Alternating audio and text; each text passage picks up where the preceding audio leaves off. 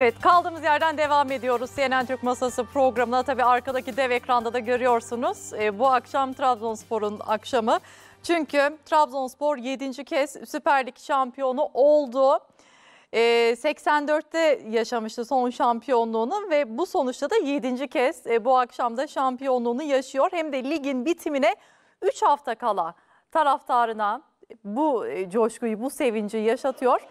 Ee, Sayın Cumhurbaşkanı da e, Recep Tayyip Erdoğan da bir e, tweet paylaştı, tebrik etti. O tweet'i de arkadaşlarım ekrana getirdim. E, Cumhurbaşkanı diyor ki, Spor Toto Süper Lig 2021-2022 Ahmet Çalık sezonu şampiyonu olan Trabzonspor Kulübü'nü, taraftarını, Trabzon şehrini ve tüm Trabzonspor camiasını en kalbi duygularımla tebrik ediyorum diyor ve e, bir de şampiyon Trabzonspor diye de hashtag kullanmış. Biz de bir kez daha buradan e, Trabzonspor'u camiasını tebrik etmiş olalım. Bu coşkulu görüntülerde e, bir yandan ekrana yansırken oldukça tabii neşeli, güzel, harika bir e, görüntü. Sabaha kadar da Sayın Öztürk siz herhalde dediniz sabaha kadar değil günlerce bu evet. coşku görüntüsü devam eder diye. E, tebrik ediyoruz bir kez daha. Şimdi biz dönelim. Dilerseniz siyaset gündemine tabii bir yandan da siyaseti konuşmayı sürdüreceğiz efendim. Şimdi e, İstanbul Büyükşehir Belediye Başkanı Ekrem İmamoğlu 23 Nisan'da Sözcü'ye bir açıklama yaptı. Dedi ki bir CHP'li elbette ki kendi genel başkanına aday gösterilmesini ister. Ben de CHP'liyim ve benim de adayım Sayın Kılıçdaroğlu'dur dedi. Ve e, o açıklamasından öne çıkan bir bölümü daha aktarayım. E, şöyle ifade etti. Ancak Ekrem İmamoğlu burada kendini e, taca ya da avuta atmıyor kendi sorumluluğunun da farkında. Ekrem İmamoğlu İstanbul Büyükşehir Belediye Başkanı tarihin en yüksek oyunu almış bir belediye başkanı. E, tarihin en çok oyunu almış bir belediye başkanı ekonominin %45'inin döndüğü İstanbul'da süreci uzaktan izleyen olamaz. Sürece en çok katkıyı sunan, en çok bilgiyi sunan, en çok motivasyonu sunan kimlik olmak zorunda. İstanbul'da iyi şeyler olursa Türkiye'de de iyi şeyler olur diyor. E, bir yandan da Sayın Özçelik az önce bir e, kulis bilgisi verdi. E, Sayın İmamoğlu'nun bayramda e, Rize ve Trabzon'a gideceğini söyledi. Şimdi e, Sayın Servi buradan devam edelim. Şimdi Sayın İmamoğlu, e, Ekrem İmamoğlu burada kendini tacı atmıyor ya da auto atmıyor. Kendi sorumluluğunun farkında derken ne demek istiyor? Yani Kılıç e, İmamoğlu uzun bir süredir Kılıçdaroğlu benim genel başkanım olarak Cumhurbaşkanı adayım demedi. Ama son iki açıklamasında ve Kılıçdaroğlu'nun sözcüsü Murat Ongun bir tweetinde adayım genel başkanımız Kılıçdaroğlu dedi. O neden oldu? Orada bir taktik hamle söz konusu. Mansur Yavaş ismi ön plana çıkınca ve Mansur Yavaş ismi bir karşılık bulmaya başlayınca Mansur Yavaş'a karşı Ekrem İmamoğlu Kılıçdaroğlu kartını ileri sürdü. Ama ardından peki bu durumda sen Cumhurbaşkanı adaylığı iddiasından vaz mı geçtin sorusu sorulduğunda bu sorunun gelebileceğini düşünerek biraz önce sizin de ifade ettiğiniz gibi kendini taca ya da avuta atmıyor demişti. Şimdi de Karadeniz gezisiyle birlikte bizzat sahaya çıkıyor. Biz bu siyasette Bunları çok gördük. Parti içinde genel başkanlığa aday olanlar ya da eski parlamenter sistemde başbakanlık adayı olanlar, parti kongrelerinde genel başkanlık yarışına girenler, şimdi de cumhurbaşkanlığı yarışına girenler hep tabanın rüzgarını yukarıya yansıtmak ister. Zaten Ekrem İmamoğlu seçildiği günden bu yana ilgisini İstanbul'dan ziyade Cumhurbaşkanlığı ve Türkiye'nin genel siyasetine veriyor. Hatırlarsanız ilk seçildiğinde hemen Batman'a ve Diyarbakır'a gitti. Kayyum belediyeleri e, ziyaret etti. Ardından Kayseri'deki toplantıdan sonra, belediye başkanlarının toplantısından sonra ki o toplantının da perde arkasına baktığımızda Kılıçdaroğlu'nun da olduğu toplantıda bazı belediye başkanlarının çıkıp e, Ekrem İmamoğlu lehine konuşmalar yaptığını biliyoruz ve Kılıçdaroğlu'nun da bundan çok rahatsız olduğunun e, fark, farkındayız. Oradan dönüşte Kırıkkale'de bir karşılama töreniyle yani bir genel başkan var. Genel başkan da aynı yoldan geçerek Ankara'ya geliyor. Ama karşılama genel başkana değil İmamoğlu'na yapılıyor. Biz bunu geçmişte parti kongrelerdeki genel başkan adaylarının yarışında çok görüyorduk. Şimdi Cumhurbaşkanlığı yarışında ortaya çıktı. E, Diyarbakır olayını zaten biraz önce konuştuk. Orada çok önemli bir karşılama hazırlanmıştı Dağ Kapı Meydanı'nda. Dağ Kapı Diyarbakır'ın simgelerinden e, birisidir. Şimdi de Kılıç, e, Ekrem İmamoğlu bir Karadenizli olarak Karadenizlerin oyunu da alarak e, İstanbul'da belediye başkanına seçilmiş birisi olarak tam da Trabzonspor'un şampiyonluğunun ardından yani o Karadeniz'deki o coşkulu havanın oluştuğu bir dönemde şimdi sahaya çıkıyor. Ben onu öyle görüyorum. Çünkü bir ay önceden geziye katılacak olan gazetecilere davetler e, iletilmişti. Şimdi taş, taca çıkarmadı. Biliyorsunuz bir de Ekrem İmamoğlu'nun bir futbol hayatı var. Kendisi kalecilik yapmış. O nedenle futbol terimlerini çok yerinde e, kullanıyor. Şimdi kaleye geçmiyor aslında sahaya, forvet olarak sahaya çıkıyor. Ben onu Karadeniz gezisini öyle görüyorum. Evet e, şu anda sahaya çıkıyor dedi e, İmamoğlu. Sayın Selvi bu şekilde yorumladı. Şimdi e, tam da aslında Trabzonspor'un şampiyon olduğu e, bir döneme, günlere denk gelecek e, bu Rize ve Trabzon seyahati. Yani ilerleyen zamanlarda şimdi Sayın İmamoğlu ben de e, Sayın Kılıçdaroğlu'nun adaylığını destekliyorum diyor ama aslında istiyor mu yani kendisi Cumhurbaşkanı adayı olmayı? Şimdi- İlerleyen zamanlarda ben adayım diye ortaya çıkar mı? Destek bulur mu? Şimdi şöyle söyleyeyim. Bir kere İmamoğlu akıllı bir adam. İşini de biliyor, siyaseti de biliyor. Yani tıpkı Cumhurbaşkanımız Sayın Recep Tayyip Erdoğan gibi sokaktan gelen bir politikacı. Recep Tayyip Erdoğan da ilçe başkanlığı, il başkanlığı yaparak siyasete, belediye başkanlığını oradan da bugün Türkiye genel siyasetinde yer alıyor. Sayın İmamoğlu da önce Beylikdüzü'nde ilçe başkanlığı yaptı. Beylikdüzü Belediyesi'ni AK Parti'nin elinden aldı seçimi kazanarak. Ondan sonra kendisi Beylikdüzü Belediye Başkanı iken Sayın Kadir Topbaş'ın görevden ayrılmasından sonra belediye meclisinde yapılan oylamada aday olup o gün CHP adına aslında CHP'nin gelecekteki büyükşehir adayı olduğuna, bu işe talip olduğuna işaret etti. Tıpkı şu anda AK Parti adına İstanbul Belediye Başkanlığı için Esenler Belediye Başkanı'nın tavır koyması gibi. Yani Esenler Belediye Başkanı, grup başkanı olarak o kadar çok fazla müdahil ve öne çıkıyor ki açık seçik şu anda bir ön seçim olsa yani e, müdahale olmazsa tepeden hani merke- parti merkezinden Esenler Belediye Başkanı seçilir. Parti me- e, belediye meclisi tarafından. Sayın İmamoğlu bu süreçleri bilen bir adam. Siyasetin bu dinamiğini de bilen bir adam. Ayrıca başkanlık yaptığı şehrin özgül ağırlığını da bilen bir adam ki son konuşmada sizin biraz evvel e, söylediğiniz Sayın Selvi'nin yaptığı açıklamalar e, ve okuduğunuz o haber metninde diyor ki ekonominin yüzde 45'ine hükmeden bir şehrin ben nabzını tutuyorum elimde. Bu ne demektir? Sayın İmamoğlu ve ekibi şu anda İstanbul'da İstanbul'da iyi şeyler yapan, olursa ek- Türkiye'de de iyi şeyler Tabii, olur. ek- et, gayet tabii. Şimdi bu yaklaşım doğru bir yaklaşımdır. Ee, bir değişim isteniyorsa değişimin yönü belli olmuştur. Yani e, mesela e, 1989 yılında Anavatan Partisi İstanbul'da seçimi kaybetti. Türkiye'de de iktidarı kaybetti. Ha tek başına CHP İstanbul'da kazanmasına rağmen tek başına birinci parti olamadı. Doğru Yol Partisi ile koalisyon kurdu ama sonuçta artık bu değişimin olacağını ortaya koydu. Şu anda yapılanlar hani bu Millet İttifakı'nın adayı kimdir? Kılıçdaroğlu gitsin gelsin. Ee, iki sancıdan kaynaklanıyor. Birinci sancı parti içindeki kadrolar değişimti. Yani eskiden Baykal döneminde, Sayın Baykal döneminde partinin yönetimi olan, merkezinde olanlar şimdi hiçbirisi yok. Hatta milletvekili bile değiller.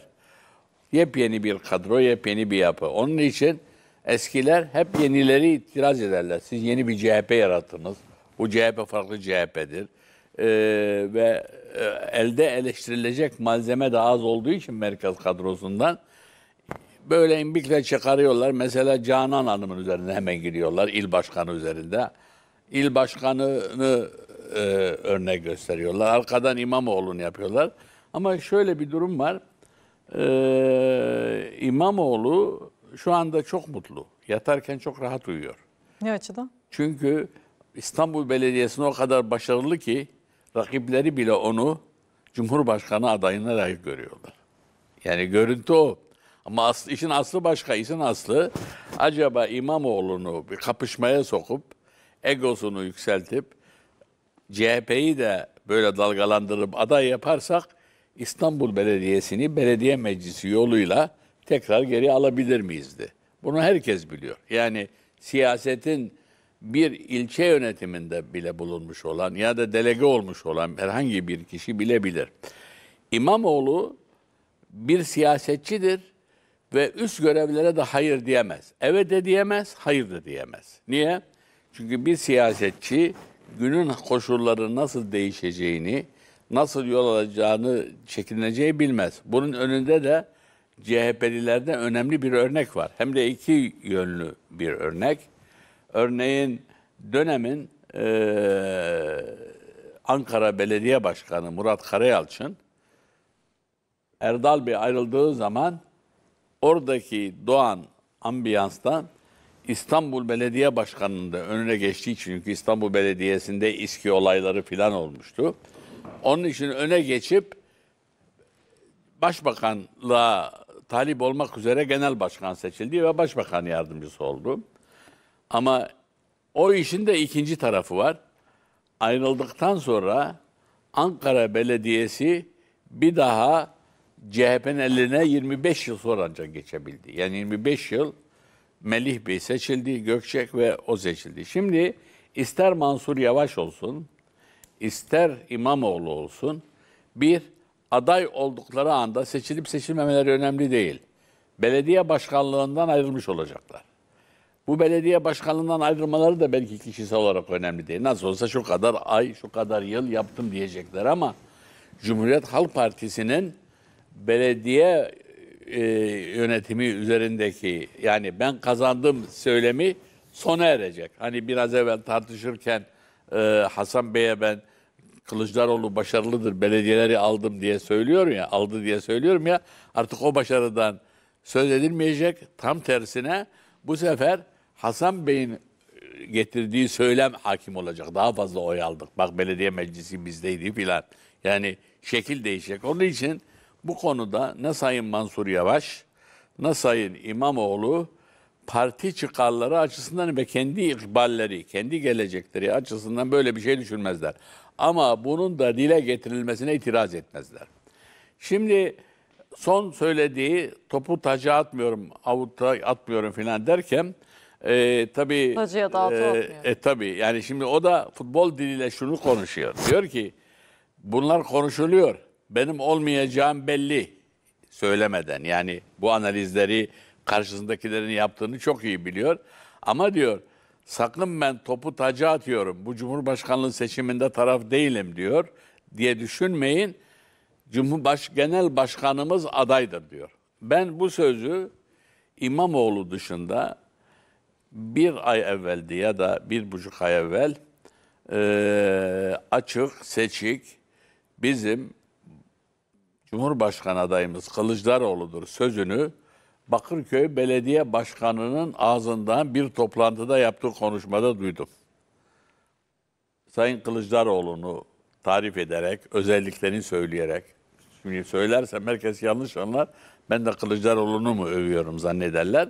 İşte maliyeci oluşunun özelliğini, işte ekonomiyle bağlantısını, devlet yönetimini filan güzel taraflarını söyleyip alkış dağılarak adayım odur dedi. Şimdi e, bu konuda tabii neden kafalar karışıyor? E, Zafer Partisi Başkanı e, bir atak yaptı. Bu atakta yaptığı atakta saldırı İyi Parti'nin tabanına, Milliyetçi Hareket Partisi'nden Cumhur İttifakı'ndan bulunmaktan memnun olmayan tabandaki seçmene yönelik olarak Mansur Yavaş ismini ortaya Şimdi attı. o konuya geleceğim. Tabii. Yani hayır ben ikisini yapacağım. Mansur Yavaş ismini atınca ortaya bu arada iki tarafında bürokratları arasında ister istemez ben önde sen öndesin diye hikayesi oluyor. Hemen birileri ya Mansur Yavaş dedi de İmamoğlu tekrar olabilir diyorlar. Ama bir realite var. Bir kere Cumhurbaşkanı adayı Kılıçdaroğlu şimdi ben adayım diyecek.